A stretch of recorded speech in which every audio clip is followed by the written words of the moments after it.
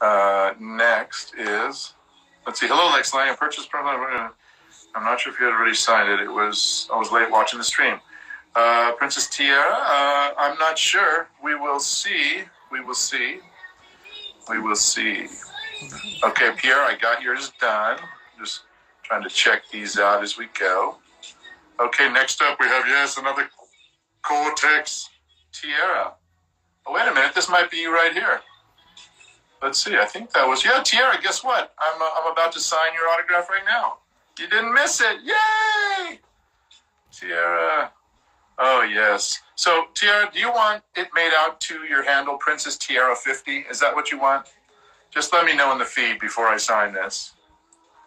Okay. Just let me know in the feed before I sign this.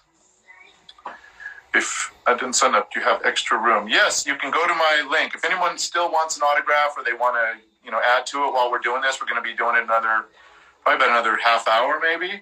Just click the link in my bio up there or wherever it is on Instagram, and you'll see it says Streamily, and just click that, and then you can order, and poof, poof, I will see it right here.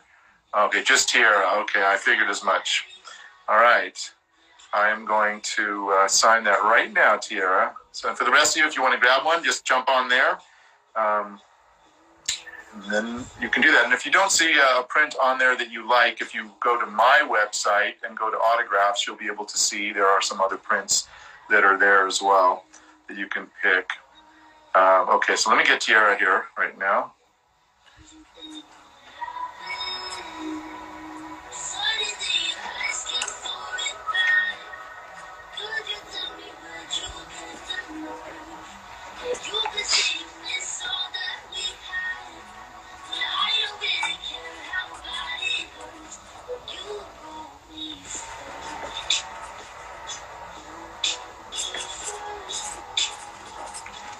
All right, Tierra. Yes, don't give up on your dreams. With love.